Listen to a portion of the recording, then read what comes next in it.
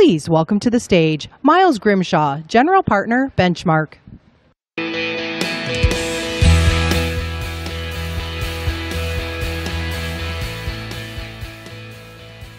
Good afternoon, everyone. It's great to see so many in person and in the Bay. So today I want to talk about evolving your product genetics and continuing to expand the peak potential uh, of your company. But first, where does this metaphor come from? Product market fit can often be talked of like a new magical chemical reaction. A special combination of atoms is found, and now it's time to scale production. Or it can be talked of a little bit like an assembly line. You've built a fantastic new design, the new product's there, you've got some, the, the first versions of it, now it's time to scale. I think these metaphors can lead to a fairly mechanistic view of scaling and of the journey post-finding product market fit. It really leads to the supremacy of the spreadsheet at even a couple million of revenue.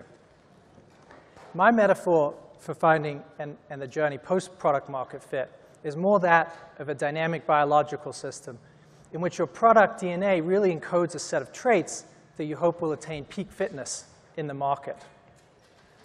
Your product DNA really is what sets the frontier of what's possible for the business. Now, just because you're tall doesn't mean you'll be a great basketball player, but it certainly helps. And it's that product DNA that I think ultimately shapes the, the complexion of the business down the line. How sticky is the revenue? How much sales and marketing is required? How much natural expansion is there in the base of the customers? Um, and the like. And, and I think instead of just focusing on the spreadsheets, it's important to keep attenuated to that product success. And so today I want to share a few strategies of how we've kept product evolution at the forefront of some of the companies I've had the fortune of partnering with. Some horizontal companies I've served on the board of like Airtable, Lattice, and Glide. Some vertical software companies like Benchling, and some very developer-centric ones like Segment. So the first pillar I want to share today is that of measuring product adoption, not just revenue. Very quickly, post early success, I think B2B teams can start focusing exclusively on classical revenue metrics, and those product metrics can start to fall by the wayside. And I think that's a mistake. And a fun analogy I like to think of that at the end of this year, unfortunately may not be relevant anymore, is that of your Instagram feed versus your TikTok feed. Your Instagram feed, up until they start to change the product now, is that of your stated preferences. You've said, I want to follow these people. It was an opt-in relationship. That's like a customer sale. A customer says, I want to buy it. Where can I sign? Please give it to me. Your TikTok feed is your reveal preferences. It's what actually gives you the dopamine rush. It's what actually gives you the energy. It's what actually is successful. I think of that as your product metrics. Is the customer actually using it and getting the, the proper fulfillment from it in the way that you'd hoped? And so I think great teams ask themselves, is the product delivering on the full potential of customer value, not just measured by revenue. And so a few ways with some of the teams that I work with, we've done that. Benchling has a wide suite of tools for life science research firms, everything from single-player tools to whole teams to departments. Early on, as we started to have some success, we created this idea that we even tracked at the board level of a golden land. And, and we said, alongside, obviously, the revenue that we're trying to attain, we really want that adoption to have the complexion of many, several people in a team using it and using the core database and core collaborative products that, that we aspire to have them adopt to make the central system of record.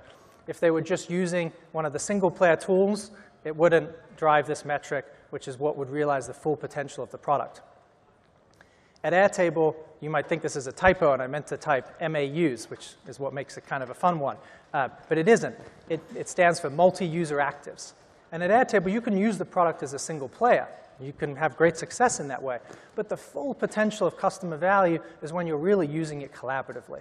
And so we track not just revenue and we tracked MAUs, but we really had at the forefront this idea of multi-user actives and measured that and, and, and, and evaluate our success on that a very different one with a complex graphic that I took from one of the early segment board slides um, that we worked on together. Segment, if you don't know it, is a data platform of which, on which to sort of centralize all of your customer data. And there are many ways you could send data to us or we could send data back into other systems. Four big pillars of that, whether the web product, the mobile product, your cloud, um, a cloud source like Stripe or your warehouse. There's a lot going on in this graphic, but it was a representation of the many different ways you could integrate us. And at the center is you using all four, which really was the full power. You put us at the center of your, of your customer data, and we were deeply embedded. Now, as you can probably tell from the shading, not every customer, not all of our revenue was in that, was in that magical center, but we kept attenuated to that along the journey and asking ourselves, how can we drive more and more of the customer base to that center? And so as you start to scale and find early success, I think it um, behooves you to ask, is the product really delivering on that full potential of value? A second idea I want to talk about in strategy is that of good customers versus bad customers. If you think of mechanistic scaling post-product market fit, rev revenue is revenue. But if you think of it more as a dynamic evolutionary system, revenue and, and different customers have very different value to you. And so which customers will really pull the evolution of your product further ahead? One of the great ways to do this is to ask, which are the market-leading companies in your industry? Which are the ones that are really pushing the forefront of the industry forward and that will pull you along with them? Not only will they demand excellence of your product, but you will get insights from them that none of your competitors can get. And that will give you uh, an important edge.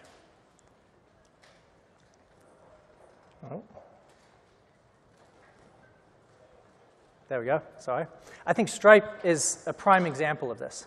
Early on, they might have actually started trying to sell to, I don't know, Bed Bath & Beyond or the like, but they didn't. They really focused on digital native leaders, companies like Shopify and Lyft, who are setting the forefront of what was, what was possible for the digital economy and pulled excellence from their product.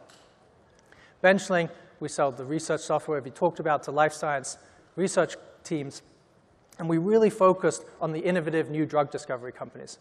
One of our first big enterprise accounts, still an important one today, was a company called Regeneron, which, while they didn't invent the COVID vaccines, they didn't invent the leading COVID antibody treatment that the former president actually took when he got COVID.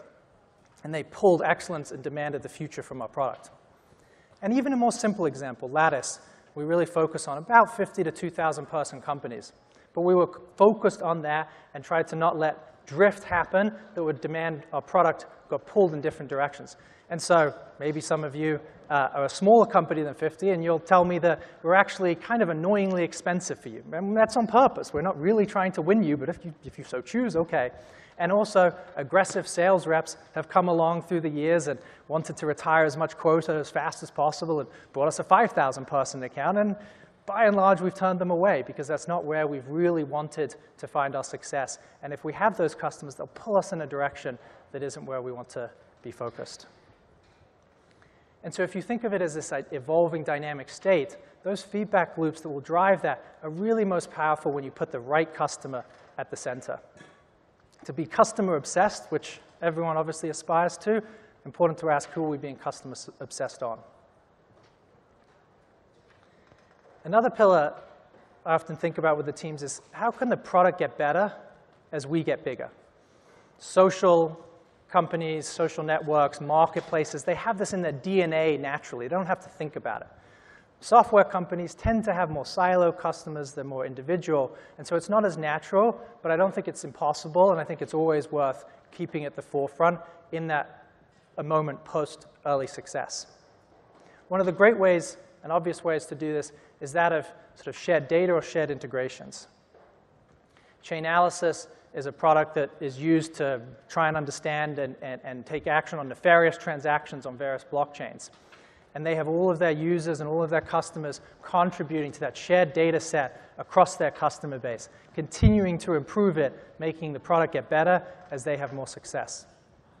Segment, we built the broadest integration library, and we spent a lot of time making it easy so that other people could build integrations to us, bringing us in, into their products and, and build, building that ecosystem faster than we ever could. All of that made us better as we continue to succeed. And even Lattice, which you think of like a very insular experience, it's ultimately your performance management software. As we've built out engagement products and now launching a compensation product, We anonymize that data and allow you to intelligently compare across that customer base, making the product actually get better as we succeed and have a larger base. Another way I think about this is the metaphor of a city. You've probably noticed sort of centers of gravity emerging um, around the world, and we think about it very natural. It's an organic phenomenon. Why does Silicon Valley have a density of technology companies? When you look even within inside a city, why are bakers or butchers kind of all in the same area, all in the same streets? Why is there a fashion district where most of the fashion houses are? Economists have a fancy term for this, as they always do, called the agglomeration effect, and it's used to describe that organic evolution. And, and, and the nature is one of the marginal participant in that industry, in that ecosystem, wanting to be there versus somewhere else. And I think a software company can think with that mindset. How can we sort of be like that city? How can we be the place where the marginal participant in our ecosystem is most incented to sort of spend time, spend energy around us? and cultivating that mindset early. At Benchling, for some of the very early years, we really focused on academics and students. They were the, in, the in participants who ultimately would end up doing this professionally. And so we cultivated and nurtured, even though it didn't show up as revenue, a great student and academic ecosystem. And now we're cultivating, as many do, an ecosystem of implementation partners and integration partners where their success is, is advanced by locating and, and being around our center of gravity. GitHub and Shopify are obviously big examples of this now at great scale. GitHub students got trained uh, in, in using GitHub before they went off into industry. Any open source project, obviously most incented to be there because that's where the largest developer base was, leading to a breadth of integrations. And Shopify has a whole ecosystem of partners building templates and integrations and businesses built on top of it. There's, it's almost like they're a city, and anyone who wants to be a part of that industry is, is really incented to locate there.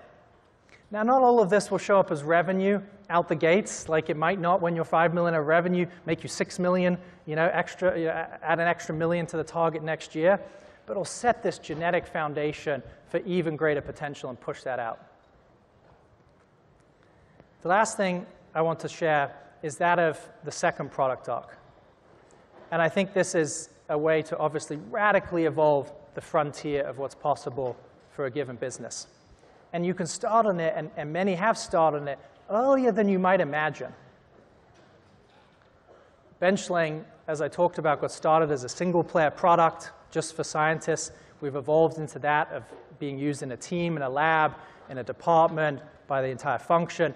And we've continuously focused, and you can see the rate of velocity of product surface area um, that either expands the scale of the organization that we can serve into or other functions around the, the, the core set of scientists that we prioritize, and the rate at which we've kept doing that along our journey.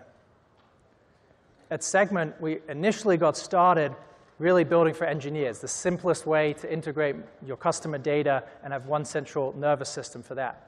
Obviously, that can be used by marketers and, and now is very much used by marketers. But early on, it was really engineering and developer centric, one simple integration for every integration. At about 20 million of ARR, we started focusing on what we ultimately launched at about, at about 50 as the Personas product, which was really this way for marketers to actually have a single customer ID to use for retargeting or, or, or journey marketing, et cetera, which wasn't a constituent that we necessarily served out the gates. And we launched that at about 50, and it transformed win rates in the company against any competitor and was ultimately foundational to creating what became the customer data platform category. At Lattice, as I've talked about, we started just with performance reviews.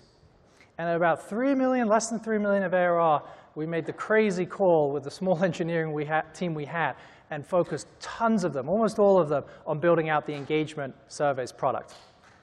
We launched that at less than 10 of revenue and became the first company that was serving that mid-market to actually have both. And it transformed win rates and had a profound impact on our positioning and success in the market. Um, and two other fun ones that I think about that are very different, a very horizontal company and a very vertical one, HubSpot and Veeva, um, that, have, that have done very well, obviously. Um, HubSpot, obviously, for those who remember, started as a marketing-centric product. And when they were about 70, they staffed a sales team that actually made a small acquisition to start working on this. And as they crossed about 100 million of software revenue, um, they really launched it. And that sales hub now is cl- close to half, I think it is, of their entire revenue. And Veeva got started as a CRM on top of Salesforce, built on top of Salesforce. And, and when they were only about 20 of subscription revenue, started working on their own product, Vault, um, which was clinical trial data management and the like. And they launched it when they only had about 30 million of software revenue. So these stories, these second arcs that will really transform the frontier of what's possible, can start earlier than you imagine. And I think it will push, starting to focus on this earlier, teams to not just ask who can we sell to, but move back into that motion of what can we solve for? What problems are out there that we can uniquely address? So, I think if you think of product market fit as much more of this dynamic state, and it's sent you to keep focused on the software, not just the mechanistic scaling of the spreadsheet, and ask the questions of how can we evolve this product DNA to really expand our peak potential. And so some questions to leave, yourself, leave you with. Do we have a good view into successful adoption, not just sales of our product? Who are the customers we should be listening to and training our feedback cycles on? How can our product get better? How can our ecosystem get better as we get bigger? And what's our next product arc? Thank you.